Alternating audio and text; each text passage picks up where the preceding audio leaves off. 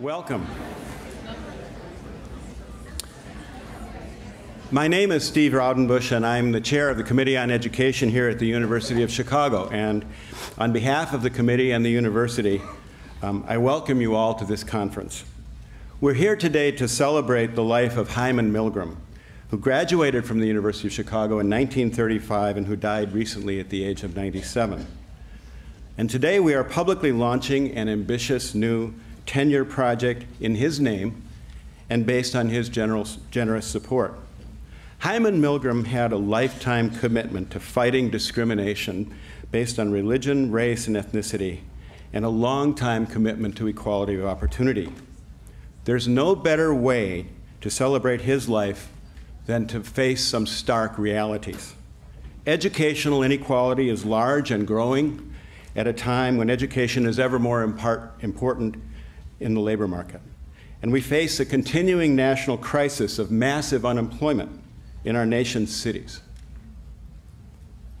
Our project is entitled Successful Pathways from School to Work. It's a search for solutions based on evidence to this national crisis. We seek to ally scholars and practitioners in Chicago and across the nation in a new movement to overcome this continuing crisis. Our movement will be armed, but only with ideas and evidence. The project is off to a rousing start, having uh, already funded uh, 13 faculty projects and six doctoral students. The studies are wide ranging, including studies of early interventions that get young people living in hard pressed communities on track for lifelong success, studies of effective, effective instruction, studies of how to connect high risk adolescents with the labor market. Hyman Milgrom's son, Charles, and his daughter, Paxton Quigley, have played a crucial role in helping us launch our project. And Paxton is here tonight.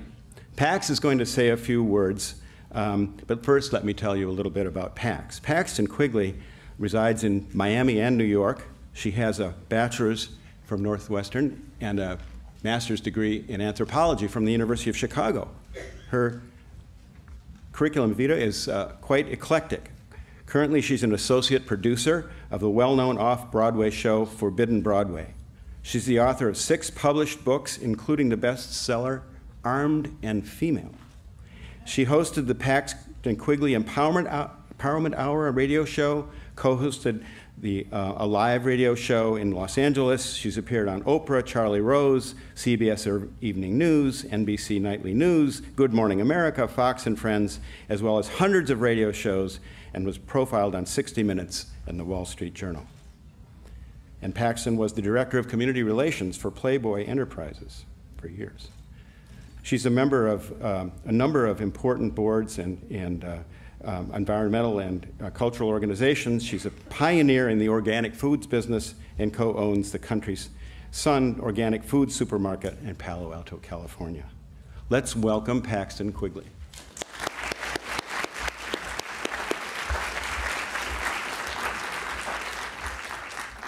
Thank you very much. Um, I'm so proud to be involved in this most wonderful project that my father donated to the University of Chicago. My father was an entrepreneur, and he made a lot of money, although none of us really knew it. Um, he drove, for example, a Mercury Sable car that he never washed. He would always put it outside when it rained. He'd take it out of the garage, put it outside in the rain, and it would get washed. That's the kind of guy he was. He also would go every day, he'd walk almost five miles to McDonald's. And why did he go to McDonald's? Because they had a discount on coffee, a senior discount. So you can imagine that if he had done that for so many years, he certainly saved a lot of money, and it obviously is going to the University of Chicago. So if you want to give to University of Chicago, go to McDonald's. anyway, um, to be serious now, he was very much involved with the idea of disadvantaged youth getting an education. And early on in the 70s, he even worked with some uh, community leaders, but he was dissatisfied with how they were working at the time. And I remember talking with him the year before he died, and he was already giving money to the University of Chicago, and he said, You know, you and your brother will be continuing this. And he said, Try in every possible way to make it so that we can get disadvantaged kids out of where they are. And that's really what we're all about. That's what we think about, that's what we want to do. And the Hyman Milgrom Supporting Organization, we have a goal that we want to continue to, to grant to various uh, research projects, both, both at the university level as well as the student level. And also, we're looking for innovative projects. We're looking for, for projects that students think that they have a chance to do something with. And we really hope that some of you out there, especially the students out there, will think about somehow writing something that will be able to go ahead and support for you. Because we have to think about the youth, the students at the University of Chicago making a difference and coming up. We're going to be having a, a wonderful symposia right now, and I hope you enjoy it and learn something. And I really want to thank all of you for being here this afternoon, taking time out on one of the most beautiful days that Chicago has had in a long time. And uh, again, thank you very much.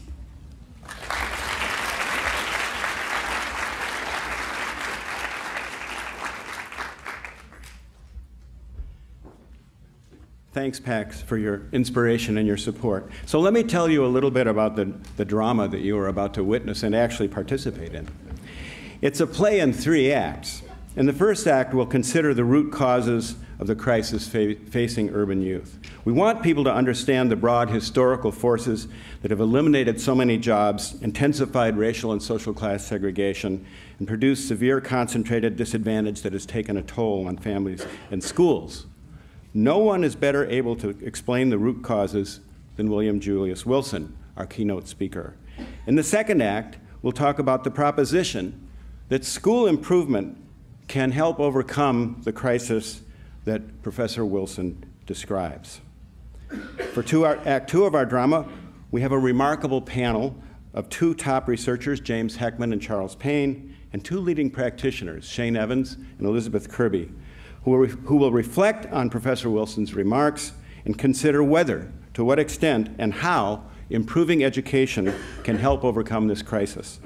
In the third act of our play, you, the audience, will take the lead role in questions and answers.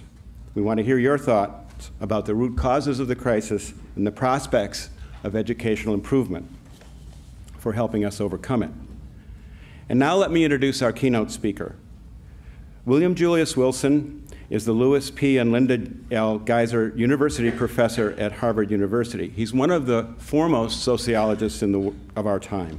He's a member of the National Academy of Sciences, the American Academy of Sciences, the National Ed and the National Academy of Education. He's received 45 honorary degrees from some of the most prestigious universities in the world, and in 1998, he received the National Medal of Science, the highest scientific honor in the United States. For 23 years, William Julius Wilson was here at the University of Chicago, and during that time, he wrote The Truly Disadvantaged. This book changed the way we think about racial and social class segregation in U.S. cities and the consequences for families, schools, and children. It's one of the most influential books in the history of sociology. He has just published a new edition of that book, and Professor Wilson will now tell us about the truly disadvantaged, revised, Let's welcome back to Chicago Professor William Julius Wilson.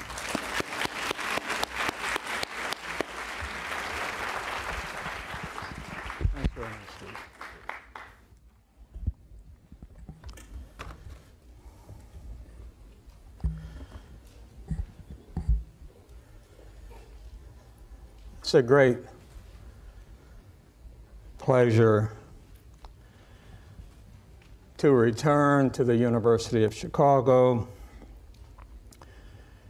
where I spent so many happy uh, and productive years. And it's an honor, really an honor, to address this august body and be a part of the celebration to launch the Committee on Education's initiatives on successful pathways from school to work. Recognize its inaugural cohort of grantees and honor the late Hyman Milgrom, whose large bequests made all of this possible. Now, my talk this afternoon uh, comes a year and a few months after the 25th anniversary publication of my book, The Truly Disadvantaged. However, the economic processes emphasized in the book have continued the loss of manufacturing jobs, the movement of jobs from cities to suburbs and overseas, and even greater internationalization of the economy, especially through trade liberalization facilitated by free trade agreements in the 1990s. Moreover, Given the expansion of low wage jobs lacking fringe benefits and the polarization between high wage and low wage occupations, higher education is even more critical for social advancement in the labor market today. Furthermore, the adverse effects of deindustrialization on inner city black employment continue to be a major problem. By and large, the conditions described in the truly disadvantaged are not qualitatively different more than 25 years later, even though when I wrote the book, urban conditions had been in decline for roughly 50 years, that is, since the early, or for roughly 15 years, I should say, that is, since the early 1970s. There are still major racial differences in concentrated poverty. Although the country experienced dramatic declines in concentrated poverty during the economic boom of the 1990s, including declines in urban black neighborhoods, since 2000, there has been a substantial increase in high poverty neighborhoods. The problems of joblessness have continued and have even gotten worse for low skilled blacks. The racial employment disparities have persisted. The black white unemployment ratio seemed essentially fixed at 2.0 or greater, which means that even through economic upturns and downturns, the black unemployment rate has been at least twice that of the white unemployment rate, although during the recent economic crisis, the rate dipped below 2.0 from December 2009 to March 2010 because of the sharp increase in joblessness among whites. There have also been some important changes that should be noted. There is greater class polarization among African Americans. The outmigration of middle class blacks from the inner city continues but more have moved to the suburbs, including suburban black neighborhoods. And a growing number of poor blacks now live in the suburbs rather than the cities, many in older inner ring suburbs that feature poverty rates approximating those in the inner cities. Immigration has been very consequential in reshaping cities and urban labor markets, especially low, low wage labor markets. Incarceration has sharply increased in the more than 25 years since the Truly Disadvantaged was published and has had profound consequences for the urban black poor. There is, of course, the Great Recession and its aftermath, including the current period of long term joblessness. These changes notwithstanding, the basic arguments in the truly disadvantaged are as relevant and important today as they were when it was published, and the book created a paradigm that led to hundreds of empirical studies across social science disciplines in response to my arguments, particularly those dealing with the causes and effects of increased concentrated poverty. These include studies on neighborhood effects, economic restructuring and spatial mismatch, social isolation and concentration effects, and the male marriageable pool hypothesis. Today, I would like to briefly discuss some of the important research on neighborhood effects, a topic that has received a good deal of attention from scholars across social science disciplines. The concept of neighborhood effects refers to the impact of various social, cultural, and demographic neighborhood conditions on the residents. And the research on neighborhood effects suggests that concentrated neighborhood poverty increases the likelihood of social isolation from mainstream institutions joblessness, dropping out of school, lower educational achievement, involvement in crime, unsuccessful behavioral development and delinquency among adolescents, non marital childbirth, and unsuccessful family management. In general, the research reveals that concentrated neighborhood poverty adversely affects one's chances in life, beginning in infancy and lasting well into adulthood. However, some scholars have been concerned that many of these studies reach conclusions about neighborhood effects based on data that do not address the problem of self selection bias, a term used by social scientists to describe the effect of people grouping themselves together based on common characteristics. These scholars argue that the effects we attribute to poor neighborhoods may instead be caused by the characteristics of families and individuals who end up living there. In other words, they feel that disadvantaged neighborhoods might not be the cause of poor outcomes, but rather that families with the weakest job related skills, with the lowest awareness of and concern for the effects of the local environment on their children's social development, with attitudes that hinder social mobility, and with the most burdensome personal problems are simply more likely to live in these types of neighborhoods. For example, as the economists John Quigley and Stephen, Raphael pointed out, those concerned about self selection bias would very likely conclude that individuals with the weakest job related skills have chosen to locate in areas where employment access is low, for example, inner city ghetto neighborhoods, simply because monthly rents are lower in these areas. Now, the initial concern about self selection bias can be attributed to two widely cited and influential papers by Christopher Jencks and Susan Mayer in 1988 and 1990, which critically reviewed the then published literature on the effects of living in poor neighborhoods.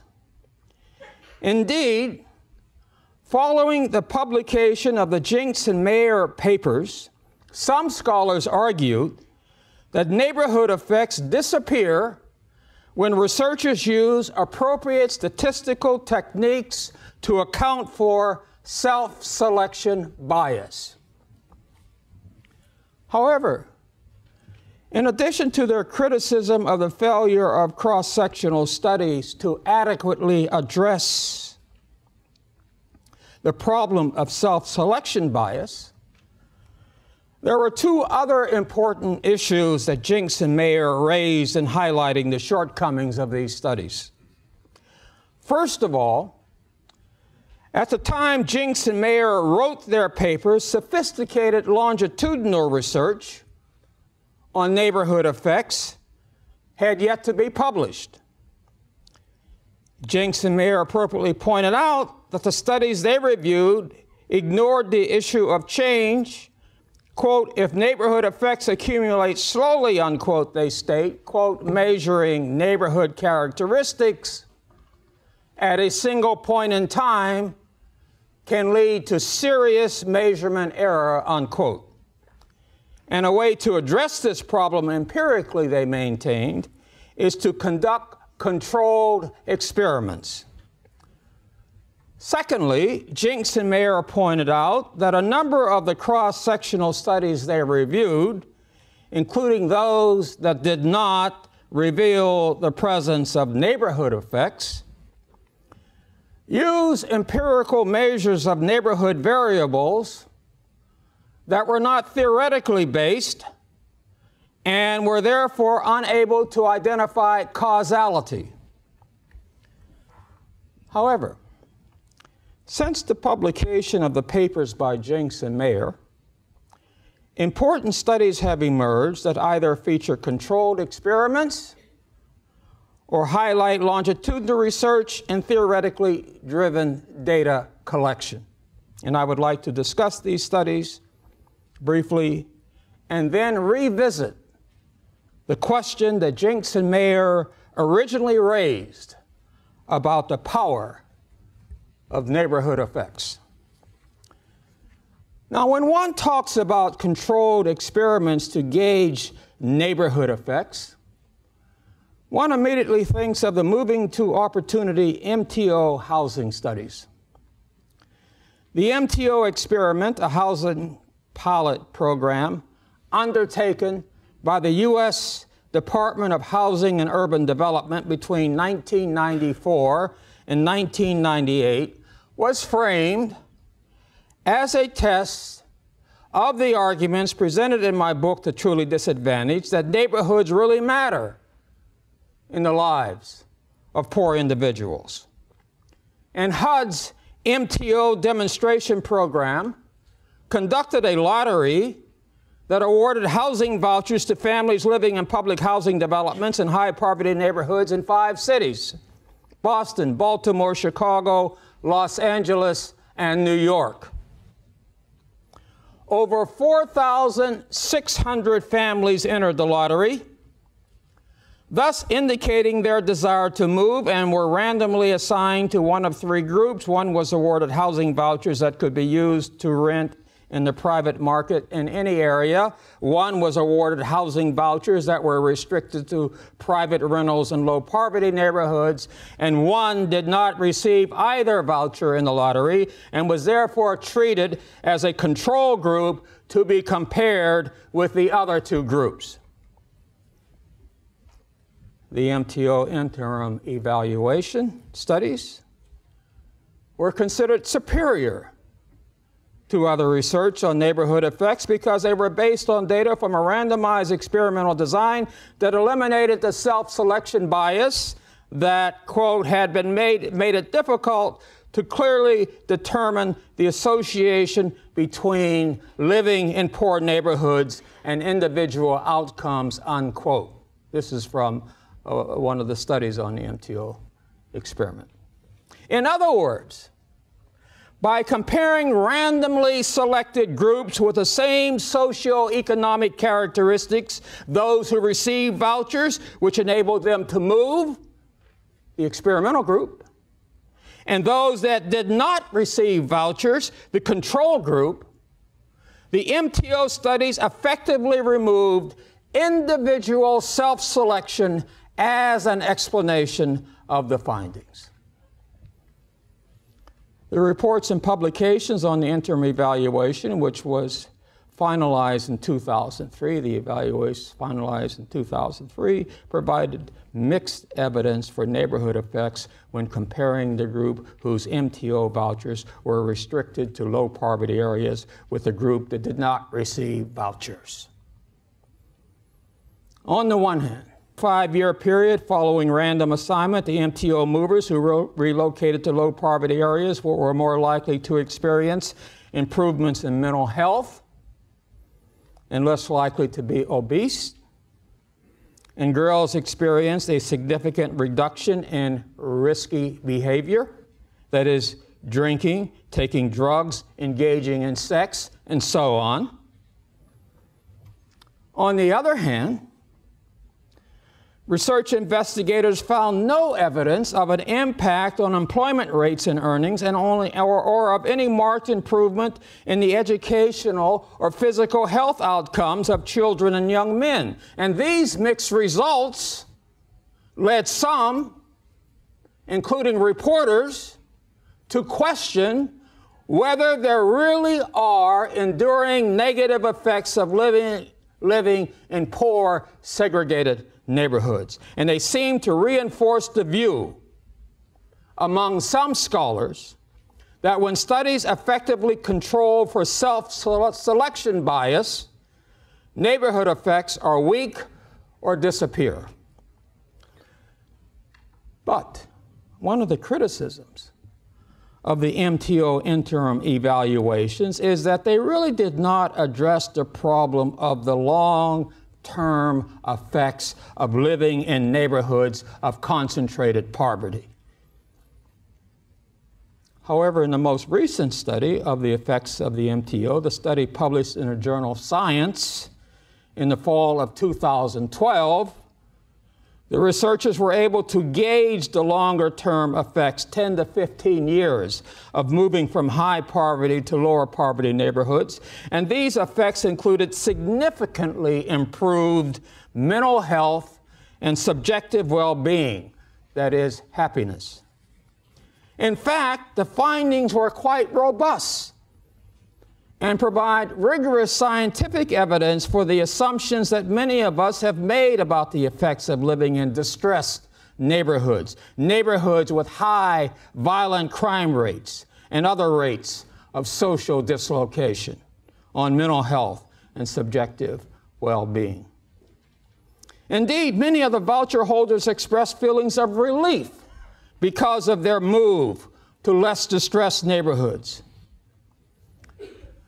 However, the researchers also found that although the residents perceived their new neighborhood on average to be safer, moving to these neighborhoods did not significantly affect economic self sufficiency, for example, employment and welfare receipt. A finding that once again raises questions about the ultimate power of neighborhood effects.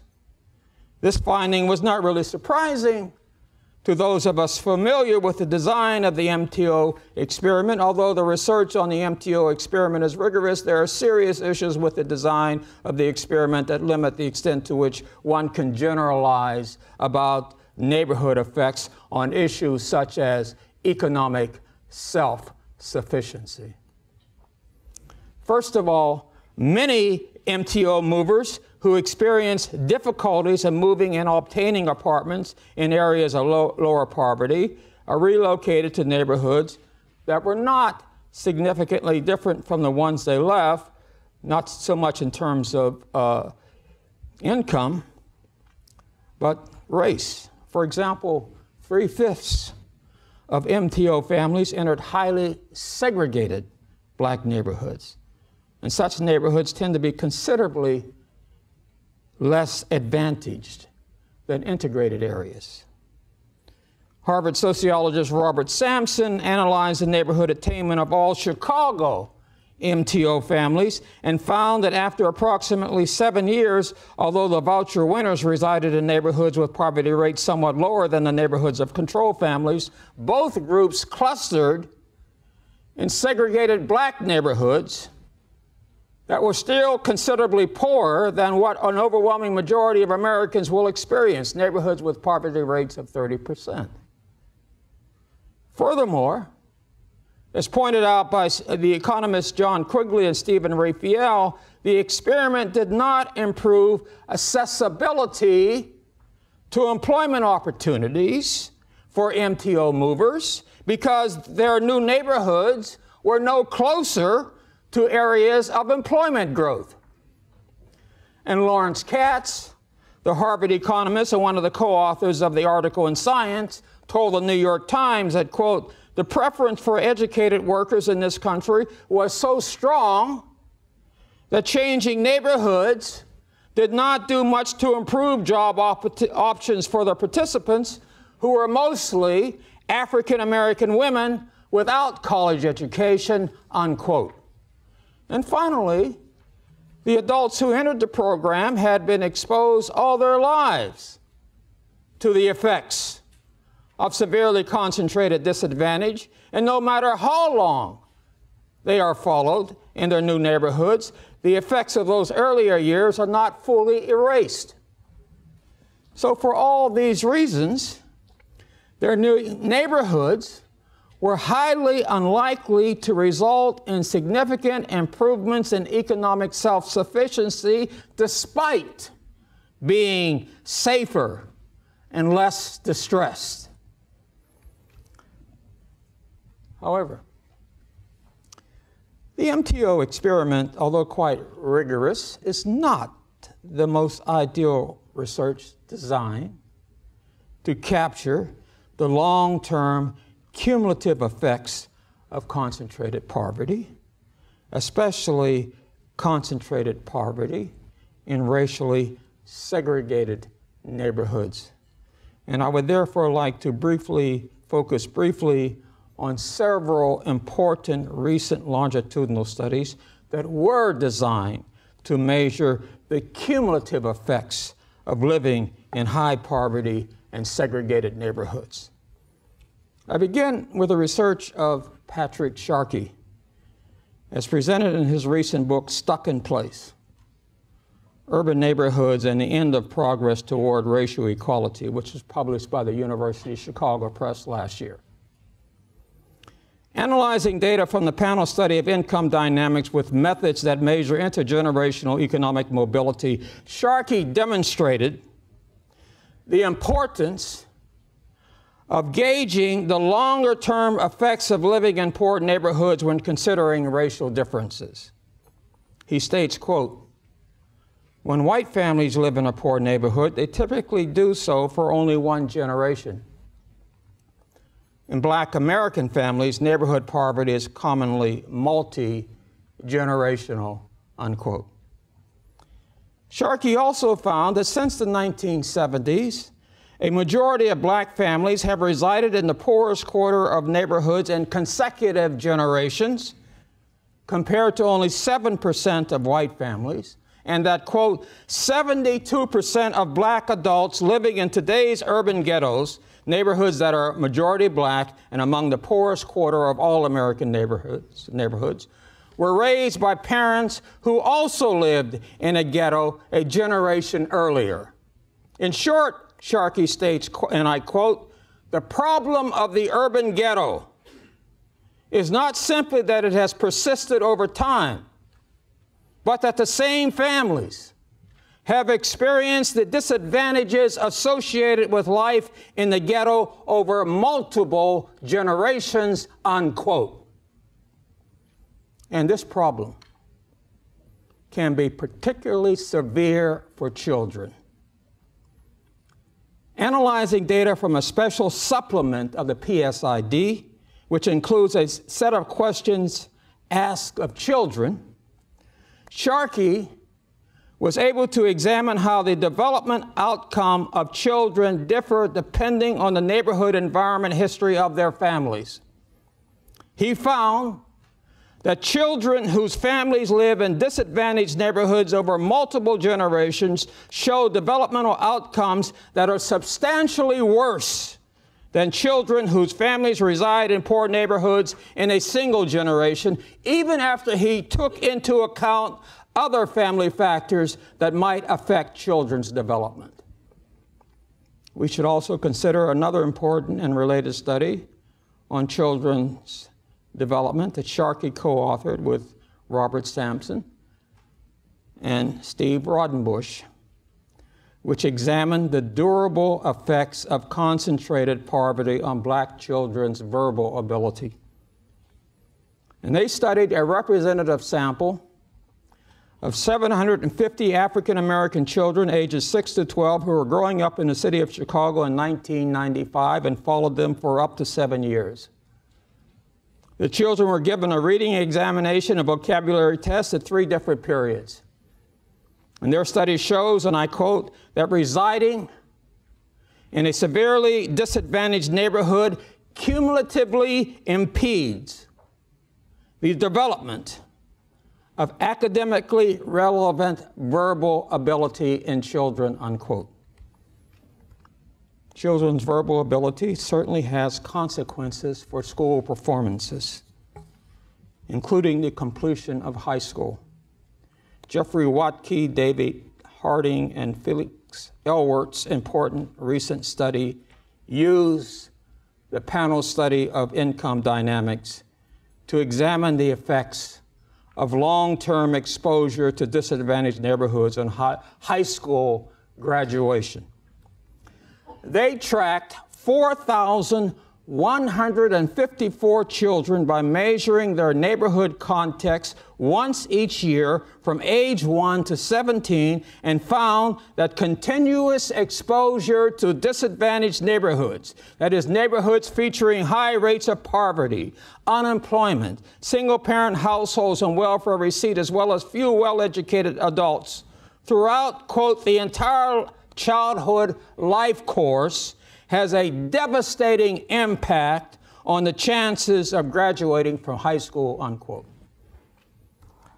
Now, I want to say that uh, each of these longitudinal studies was guided by theoretical arguments. However, perhaps the study that most dramatically addresses Jencks and Mayer's concerns, that studies of neighborhood effects should include empirical measures of neighborhood variables that are theoretically based, is Robert Sampson's recent, pub, recently published book, Great American City, Chicago, and the Enduring Neighborhood Effect. Now, Sampson is a quantitative social scientist who understands the logic of scientific inquiry and therefore the importance of integrating the structure of explanation, the meaning and significance of concepts, and the nature of evidence. In Sampson's, uh, research, empirical measures of concepts and analysis of data are theoretically motivated. And he fully exploits his very rich data sets by taking as he puts it, a pluralistic stance on the nature of evidence to assess causation. And his findings flow mainly from a comprehensive research endeavor called the Project on Human Development in Chicago Neighborhoods.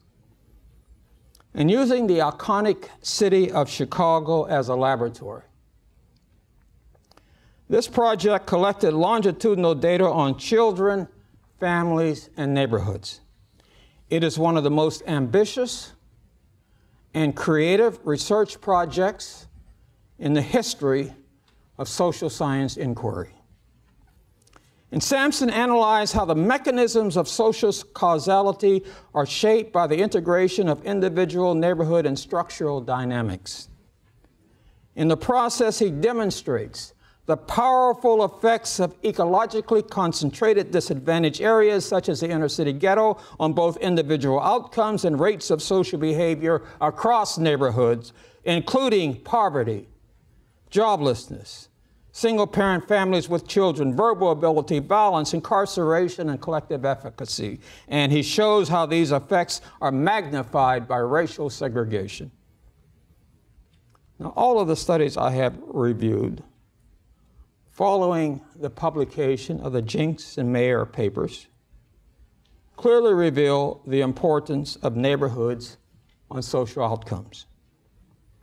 And I hasten to point out that these are the kinds of studies that Jencks and Mayer actually called for in 1990. And I suspect that if these studies had existed at the time they wrote their papers, is Susan Mayer in the audience by any chance? Okay. But I suspect, but this, um, I'm, all right, this is a, positive statement. I suspect that if, if these studies had existed at the time they wrote their papers, they would have obviously had a different view of the power of neighborhood effects. Finally, let me end. I should emphasize that the two books I have highlighted in this presentation, Sharkey's Stuck in Place and Sampson's Great American City, each suggests thoughtful policy interventions that flow from their theoretical arguments and empirical findings.